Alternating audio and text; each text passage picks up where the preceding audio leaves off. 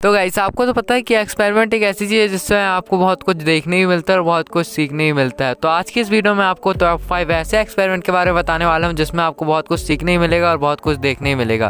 तो चलिए देखते हैं। कौन से वो एक्सपेरिमेंट तो एक्सपेरिमेंट नंबर वन पे है thousand degree hot wall versus iPhone तो चलिए देखते हैं क्या होता है। तो आपको तो पता है कि आईफोन कितना ज़्यादा मज़बूत होता है। तो क्या ये आईफोन हज़ार डिग्री गर्म बॉल को सर्वाइव कर पाएगा? तो चलिए देखते हैं। तो हमने इसमें पहले एक बॉल को हज़ार डिग्री तक गर्म कर लिया और दूसरी ओर एक वर्किंग कंडीशन में आईफोन तो चलिए अब इसको आईफोन में रख के देखते हैं, क्या होता है। तो आप देख सकते हैं, हमने हज़ार डिग्री गर्म बॉल को आईफोन के ऊपर रख दिया और इसमें काले काले धब्बे आना स्टार्ट हो गया है। तो आप देख सकते हैं लास्ट में क्या हालत हुई है आईफोन की। चलिए हम अपने दूसरे एक्सपेरिमेंट पे आते हैं। तो इस एक्सपेरिमेंट को करने के लिए हमने पहले एक बार तब लिया है और उसके अंदर हमने बहुत सारी कोल्ड ड्रिंक को ऊपर तक भर दिया है। तो हमने कोल्ड ड्रिंक में कलर भी मिला दिया है, जिससे नज़ारा अच्छा है। तो और दूसरी ओर हमने एक बाल्टी में बेकिंग सोडा और मैंटोस और बहुत सारे केमिकल्स को पानी डाल के घोल लिया है। चलिए अब इसको मिला के देखते हैं इसमें क्या होता है।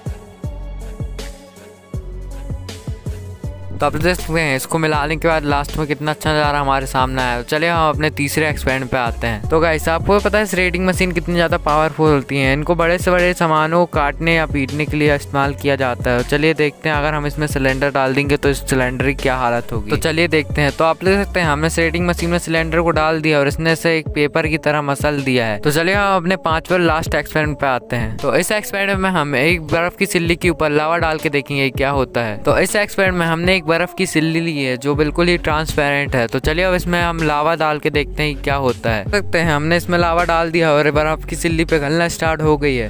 तो आप देख सकते हैं, इस बर्फ़ की सिल्ली ने इस लावा को ठंडा कर दिया है। इस बर्फ़ के लिए एक लाइक तो बनता है और अगर आपको इसमें कोई भी एक्सपेरिमेंट पसंद आया हो तो कमेंट ज़रूर करना। और अगर आपको इस वीडियो में थोड़ा सा मज़ा आया होगा तो इस वीडियो को लाइक और चैनल सब्सक्राइब ज़रूर कर देना। मिलते हैं नेक्स्ट वीडियो में।